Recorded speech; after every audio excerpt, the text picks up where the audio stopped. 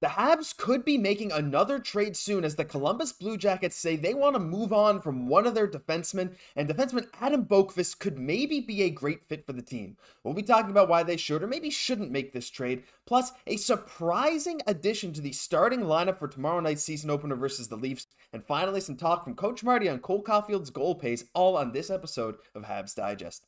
Let's dive right into Cole Caufield, Jesse, and Marty St. Louis. I mean, look, he's a quote machine. This guy always says the right things. And guess what? He did it again, and he said Cole Caufield could very well score 50. In an interview, someone asked him, Is it possible he could score 50? He said, Is it possible? Yeah, but it's not something we're focusing on. If Cole ends up scoring 50, I'm not going to be as impressed at the 50 goals he scored, but how he's playing the game and how he is impacting the game on both sides of the puck. And now I got to say, like, look, I mean, if at the end of the season he has 50 goals, I'm not going to be like, Yeah, but did you see his positioning, though? But Jesse, this 50 goal pace, I know you brought this up before the show. This list of players that Cole Caufield, like Cole Caufield has more goals in his last 82 games than guys like Auston Matthews, Jason Robertson, Verhaeghe, Tkachuk, all these guys. Caufield has more goals than.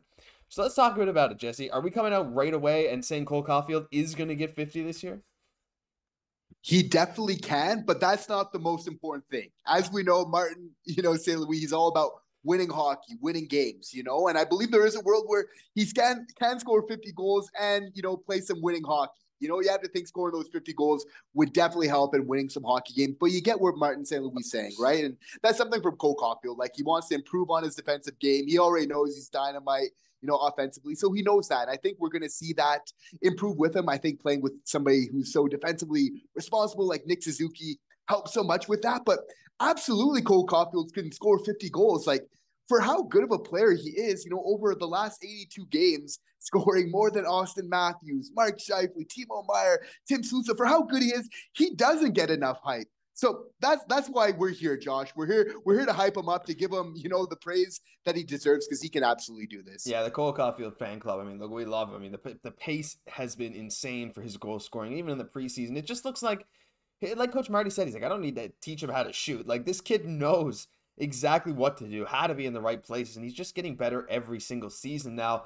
I think though, Jesse, if he is to score 50, we kind of weren't going to talk about this, but I'll just I'll just ask this question really quick anyway.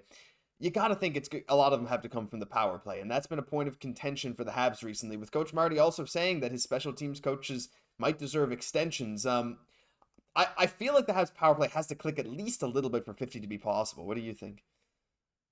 That's a very good call, absolutely. And you know, maybe Cole Caufield is the player that kind of gives new life to this this power play, right? Mm-hmm. So that that's huge, right? And I think you know for for the coaches, Alex Burrows, you know, being involved, it's uh this is going to be an important year for him. He's going to need to really get this right, but obviously Cole Caufield can definitely help him out quite a bit with that. But you know, I, I expect to see some tweaking, you know, but he can absolutely light it up. But you know, the power play will be a big part of that. Yeah, for sure. We'll have to just monitor that as the season goes on. Hopefully, Cole Caufield can breathe some extra life into the Habs power play. Let's move on to the second topic of today, and uh, there's a bit of a surprise for the opening game against the Toronto Maple Leafs, Jesse, and that is in net no, it's not Samuel Montembeault, and no, it's not Cayden Primeau, but it's Jake Allen that's going to be making the start against the Leafs in the season opener tomorrow on October 11th. Now, look, I understand Jake Allen's been around the team for a while, right? But a lot of Habs fans, including us this year, thought it's like, hey, Samuel Montembeault, he proved himself last year. He played in that World Cup. He he is the 1A heading into this season. But after a bit of a rough camp, Coach Marty came out and said today, he's like, I just think Jake Allen, stats show that he he gives us the best chance to win the game which is a bit interesting. But uh, yeah, I mean, Allen was decent against the Leafs in the two games he played against them last year. And Jesse, I feel like some fans are maybe thinking that this is a slight against Montembeault. To me, my opinion is sort of just like Allen had a better camp. You kind of just ride the hot goaltender, and that's kind of what you do in the regular season anyway. Maybe it's just that, but uh, you can't help but but wish we saw Monty on game one. It's very true, but bold takes, you know, from Martin St. Louis all the way around. You know, Cole Caufield's going to score 50. Jake Allen gives us the better chance of winning on opening night. Like, definitely not the neutral answer there. No. Hey, just really kind of putting his cards out on the table. Of course, Monty didn't have the best camp, but I think all this kind of shows is that, you know, obviously that starting goalie drama is continuing, but it's because we haven't found our 1A yet. It's it's really not there yet. Um, you know, obviously, I think Samuel Montembeault is going to get plenty of time this season to kind of show his worth. You have to feel like, you know, goalies, it's a competitive position. He's going to take that to heart. He's just going to use it to kind of um, to kind of work even harder to kind of regain that spot. But it's so interesting to see this this sort of drama continue. Yeah, it's uh it's a bit wild, right? And look, you know, there's going to be a lot of testing this year. We're going to see Primeau in a nice number of games. There's a reason they didn't send him on, on waivers. Thought he might get claimed. Maybe they just didn't want Tampa to claim him. Who knows? But at the same time, like he's going to get some games. Jake Allen's going to get some games. Monty's going to get some games. Odds are one of Allen or Monty might be traded. Like there's there's going to be a lot of moving parts this year. And yes, Allen gets game one. Maybe Monty gets game one at home on Saturday a lot to be seen, but uh, yeah, an interesting decision nonetheless.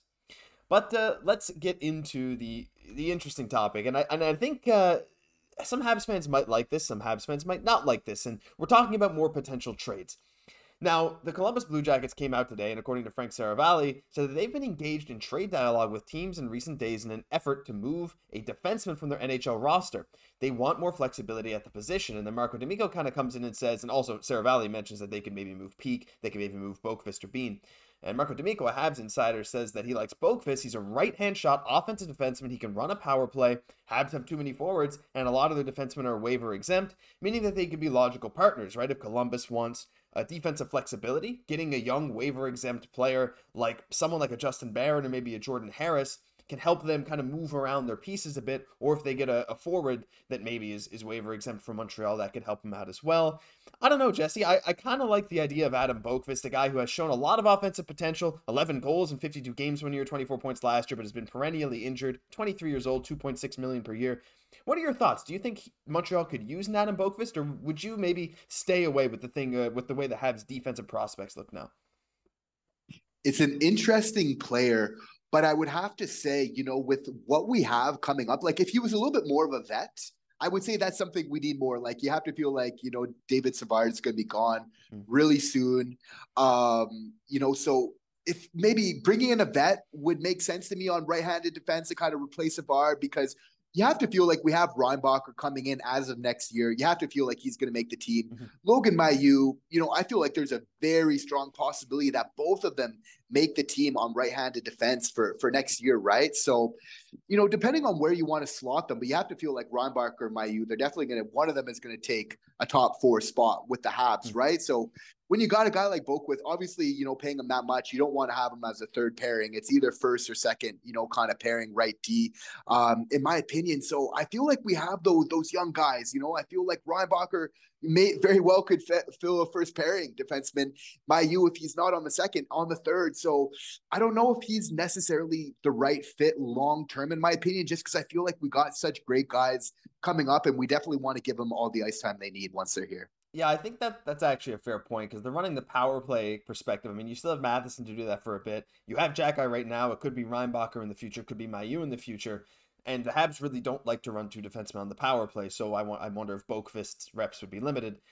But I kind of see it as like I, I, don't see it as necessarily a bad move, and I'll, I'll sort of explain why. Though you're you're very much convincing me, as you often do in, in these kind of things.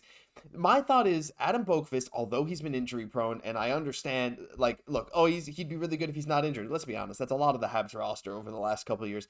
But Adam Boqvist, to me, is similar to what Justin, what we kind of want Justin Barron to be in some ways, right? He's already a proven offensive talent at the NHL level. 23 years old. He has this year and next year on his contract at 2.6 million per.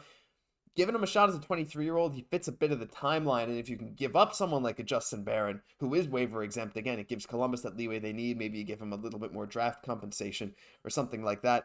But I think you're right, Jesse, too. I mean, if you look if you look into the future, right, and you bring in someone like an Adam Boqvist, your team right now is already stacked full of defensemen. And let's say we get rid of Barron, that's one of the NHL defensemen, you bring back Boqvist. And then next year you have guys like Mailloux, Reinbacher, and then Hutson probably all competing for another defensive spot. At that point, yeah. do you relegate Boqvist to the third pairing? Is then Mailloux or Hutson or someone weird going to be on the third pairing? Maybe that is another point of concern.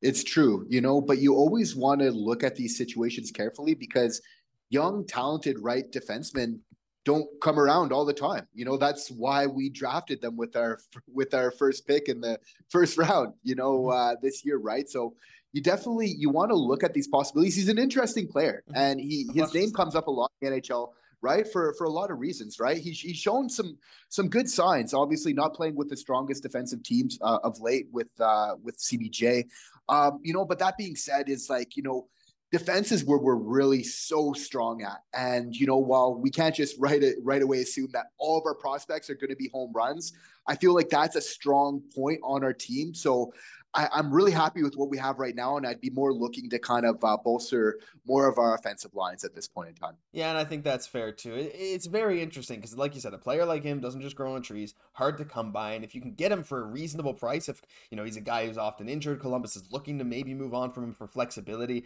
former eighth overall pick, maybe you go for it. But let us know in the comments what you guys think. Do you think Adam Boqvist should be a target or not? Let us know down below. We'd love to hear from you because he's a very, very interesting player. But that'll do it for this news episode of Habs Digest. If you enjoyed, leave a like, comment, subscribe to the channel. We're almost at 10,000 subs, 8,100. We really appreciate all the support. I'm Josh Gosse for my co host, Jesse Poirier. We'll catch you in the next one.